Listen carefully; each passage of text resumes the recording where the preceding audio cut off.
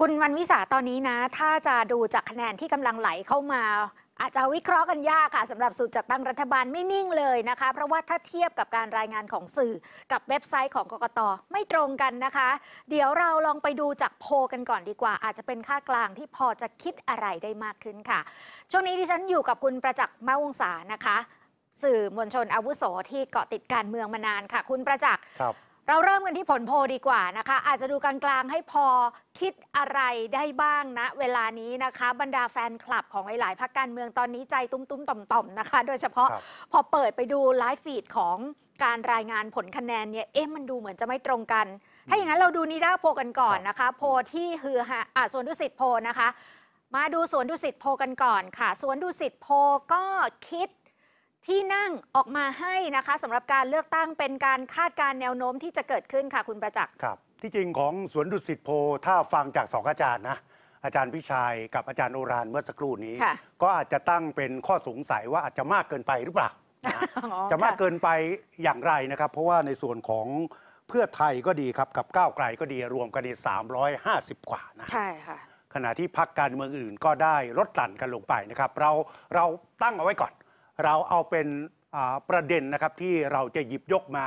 อ้างอิง แล้วก็ถือว่าเป็นจุดเริ่มต้นก่อนแล้วกันนะครับ อาจจะสูงไปสักนิดหนึ่งค่ะแต่ว่า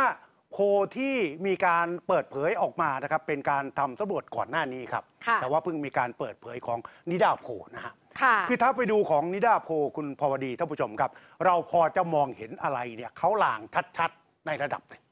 ค่ะซึ่งแน่นอนถ้าเป็นไปตามโพลของนิด้านะฮะเราอิงอยู่กับ ผลโพลของนิด้าล่าสุดก็แล้วกันครับ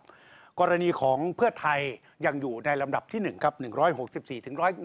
172ค่ะขณะที่ก้าวไกล 80ถึง88 แล้วก็ภูมิใจไทยมาที่ 3 72ถึง80 แล้วก็มีพลังประชารัฐ 53ถึง61 แล้วก็อ่ารวมไทยสร้างชาติ 45ถึงค่ะ 53 ถ้าเราดูจากตรงนี้คุณพรพดีฮะ ค่ะ ดูจากตรงนี้ถ้าผลการนับคะแนนที่ออกมามันสอดคล้องกับโพล นะเว้นซะแต่ว่าผลที่ออกมาเนี่ยอย่างที่อาจารย์สองท่านตั้งเป็นประเด็นเอาไว้ บอกว่าในเขตรอบนอกหรือในต่างจังหวัดคะแนนมันอาจจะไม่ตรงกับโพลค่ะแต่เอาเป็นว่าเรายืนอยู่บนพื้นฐานตรงนี้ก่อน ถ้าเป็นไปตามนี้คุณภาวดีท่านผู้ชมครับ สิ่งที่ถือได้ว่าเป็นประเด็นสำคัญเลยก็คือว่า ทั้งสองขั้วก็คือขั้วรัฐบาลเดิมนะครับขั้วที่ถูกเรียกว่าอนุรักษ์นิยม กับขั้วเสรีนิยมใหม่ก็คือขั้วของฝ่ายค้านเดิมนะฮะ ถ้าเป็นไปตามนี้ยังจัดตั้งรัฐบาลไม่ได้ทั้งสองข้างเลยครับ อ่า ยังติดล็อกอยู่นะคะใช่เสียงยังไม่พอ คือยังไม่สามารถที่จะจัดตั้งรัฐบาล โดยที่มีเสียงข้างมากทั้งในสภาผู้แทนราษฎร และชนะในการโหวตตามมาตรา 272อืมนะฮะแม้ในส่วนของเพื่อไทยกับก้าวไกลจะมีคะแนนเนี่ยสูงกว่าค่ะนฮแต่ว่า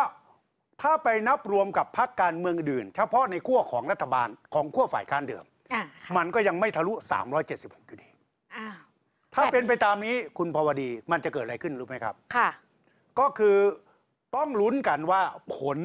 การเลือกตั้งอย่างเป็นทางการของแต่ละพรรคการเมืองเนี่ยจะออกมาในตัวเลขแบบไหน มันก็สอดคล้องกับสิ่งที่คุณเศรษฐาทวีสิน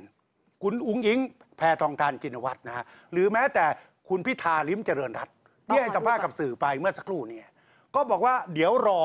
ให้คะแนนมันนิ่งออกมาก่อน ชัดเจนก่อน ค่ะ แล้วค่อยมาวิพากษ์แล้วค่อยมามองดูก็แล้วกัน เพราะว่าดูดูๆแล้วเนี่ยทั้งคุณอุ้งอิงก็ดีคุณเศรษฐาก็ดีสีหน้าดูจะมีรอยกังวลพอสมควร เครียดกันหมด เอาจริง ๆ แม้แต่คุณธนากรนะคุณประจักษ์ครับ ฟังดูจากกิริยาท่าทางไม่สบายใจนะใช่ ขณะที่ในซี่ของขั้วรัฐบาลเดิมนะครับ สายอนุรักษ์นิยมเนี่ยเรายังไม่เห็นออกมาเลยนะ ค่ะ พลเอกประยุทธ์เนี่ยเราเห็นแวบๆนะครับ เดินทางไปที่พัก เข้าใจว่าเป็นจุดที่ทางรวมเป็นไทยวอลลุ่มสร้างชาติค่ะเขานัดตั้งเป็นวอรูมค่ะในการที่จะเกาะติดสถานการณ์ คราวนี้ถ้ามันเป็นอย่างนี้คุณพวดีท่านผู้ชมครับ ทั้งหมดเนี่ยแรงกดดันทั้งหลายเนี่ยมันจะไปอยู่ที่สวอืมสมาชิกวุฒิสภา 250 คนครับค่ะเพราะว่าสวเนี่ยในการโหวตเสียงครั้งที่แล้วเนี่ยสวก็บอกว่าพร้อมที่จะโหวตให้กับพรรคการเมือง หรือขั้วการเมืองที่รวมตัวกันได้เกินกว่ากึ่งหนึ่ง สวฟังเสียงประชาชน ใช่ ครั้งที่แล้วนี่สายที่สนับสนุนพลเอกประยุทธ์นะครับในส่วนของสสนะ251 คน ค่ะ เกินกึ่งหนึ่งใช่ไหม ค่ะ เกินกึ่งหนึ่งสวก็ไปโหวตสนับสนุนซีกด้านโน้นอ่า แต่ว่าครั้งนี้เนี่ยถ้าถ้าไปนับดูนะครับจากขั้วของซีกรัฐบาลณปัจจุบันเนี่ยมันไม่ถึง 251 แต่ว่าถ้าจะไปบวชให้กับในซีกของทางฝ่ายขั้วของฝ่ายค้านนะฮะก็แน่นอนที่สุด ทางฝ่ายค้านเองก็เคยไปวิพากษ์เคยไปพูดง่ายๆไป ไปโจมตีไปด่าเขามา จะปิดสวิตช์สวอยู่ ใช่นั่นแหละฮะเพราะฉะนั้นพอถึงเวลาจริงๆจะให้เขามาสนับสนุนเนี่ยบางทีมันก็อาจจะยากลำบากกันพอสมควร เพราะฉะนั้นไปไปมาๆเนี่ยเข้าใจว่าถ้าคะแนนของแต่ละแต่ละซีกของขั้ว ในการจัดตั้งรัฐบาลที่แข่งกันอยู่ณปัจจุบันเนี่ยถ้าฟังมันต้องรอสวครับ ถ้าฟังแบบนี้เนี่ยมันต้องหากลไกสูตรที่เป็นพักเสียงที่ได้รับเสียงค่อนข้างมาก จะเป็นอันดับหนึ่งหรืออันดับสองแต่ว่าสามารถที่จะได้รับเสียงสนับสนุนจากสวด้วย ก็คือจะต้องมีตัวกลางข้ามขั้วแบบนั้นหรือเปล่าคุณประจักษ์คือเป็นหนึ่งในทางออกอืมคือเป็นหนึ่งในทางที่จะนำไปสู่ทางคลี่คลายไม่ให้มีการเดดล็อกเกิดขึ้น คืออาจจะต้องมีการสลับสลับไพ่ ค่ะ เปลี่ยนขั้วค่ะ คือไปเอาในส่วนของพรรคที่เป็นพันธมิตรตัวเอง โดยเฉพาะยิ่งอาถ้าพูดถึงในซี่ของฝ่ายค้านนะครับ ก็เอาพรรคการเมืองหลักๆของฝ่ายค้านเป็นตัวตั้ง แล้วก็อาจจะไปดึงพรรคการเมืองจากขั้วของฝ่ายรัฐบาลเดิมเข้ามาผสม อืม แต่ว่าสิ่งสำคัญก็คือมันจะมีปัญหาเกิดขึ้น ค่ะ เพราะว่าของก้าวไกลเนี่ยเขาพูดชัดเจนค่ะณพวดีฮะค่ะเขาไม่เอาไม่สเอาองลุสองลุงงไม่เอาสองปอ ค่ะ คราวนี้ถ้าเกิดว่าขั้วของฝ่ายฝ่ายค้านจะไปเอาเอ่อ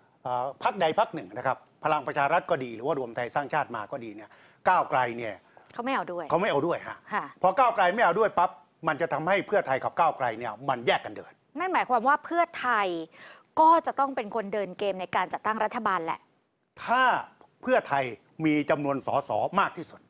ค่ะแล้วก็ต้องมากกว่าก้าวไกลในระดับหนึ่งด้วย เพราะถ้าเกิดว่าก้าวไกลเนี่ยมีคะแนนมากกว่าก้าวไกลก็จะต้องชิงการเป็นแกนนำในการจัดตั้งรัฐบาลค่ะ เพราะฉะนั้นเนี่ยณขณะนี้เนี่ยสิ่งที่สำคัญที่ต้องรอลุ้นหนึ่งก็คือผลออกมาที่มันชัดเจนค่ะสำหรับการเลือกตั้งสองก็คือไปวัดใจสวอืมถ้าสวยืนยันตามเจตนารมณ์เดิมครั้งที่แล้ว ว่าจะไปเลือกขั้วที่ประชาชนเนี่ยสนับสนุนแล้วก็รวมกันได้เสียงข้างมาก ก็ต้องไปเลือกในส่วนของขั้วฝ่ายค้านค่ะแต่ถ้าเกิดว่าเรื่องของขั้วฝ่ายค้านอย่างที่บอกครับ เราฝ่ายค้านอาจจะไม่ได้ก้าวไกลอืมแต่อาจจะเป็นพรรคการเมืองอื่น ที่อยู่ในขั้วของฝ่ายค้านฝ่ายรัฐบาลเดิม ค่ะอาจจะดึงมาได้ ค่ะซึ่งในที่นี้ก็มันก็มีอยู่ประมาณสักสองพักใช่ไหมหลักค่ะๆ ก็คือในซีกของทางภูมิใจไทยพักหนึ่ง ค่ะ แล้วก็ในซีกของประชาธิปัตย์พักหนึ่ง ในอดีตเพื่อไทยกับประชาธิปัตย์อาจจะเป็นคู่แข่ง ถือได้ว่าเป็นคู่กัดทางการเมือง แต่ว่าในสถานการณ์ณปัจจุบันเนี่ยอาจจะต้องหยิบยกเป็นสมการเป็นทางออก แล้วก็ค่ะอธิบายค่ะ อธิบายว่าถ้าไม่ใช้วิธีการอย่างนี้ค่ะมันต่างฝ่ายต่างตันค่ะมันเดินหน้าต่อไปไม่ได้ค่ะพอเดินหน้าต่อไปไม่ได้จัดตั้งรัฐบาลไม่ได้นะครับ หรือแม้แต่อาจจะไปสู่ก๊อกสองค่ะแต่ก๊อกสองมาก็ไม่ได้หมายความว่าถ้าสวเนี่ยยังสอดคล้องกับแนวทางเดิมก็คือสนับสนุนขั้วของที่ได้รับเสียงข้างมากจากประชาชน มันก็จะตันอีกเหมือนกันอืม สิ่งที่ได้ก็คือว่ารัฐบาลของพลเอกประยุทธ์จันทร์โอชาก็จะรักษาการต่อไป แต่มารักษาการต่อไปได้ไม่นานหรอกครับ นักวิชาการหลายคนก็พูดตรงกันค่ะบอกว่าถึงแม้จะเลือกวิธีการนี้นะฮะจัดตั้งรัฐบาลเสียงข้างน้อย แล้วก็เป็นรัฐหรือพยายามที่จะอ่าเป็นรัฐบาลรักษาการก็ตามค่ะทีเนี่ยค่ะแต่ว่ามันก็ได้แป๊บเดียวครับค่ะมันไม่สามารถที่จะเดินหน้าต่อไปได้ ค่ะ แต่เอาจริง ๆ ในคำว่าไม่มีสองลุงเนี่ยคุณประจักษ์ มันเป็นไปได้ไหมว่า สมการ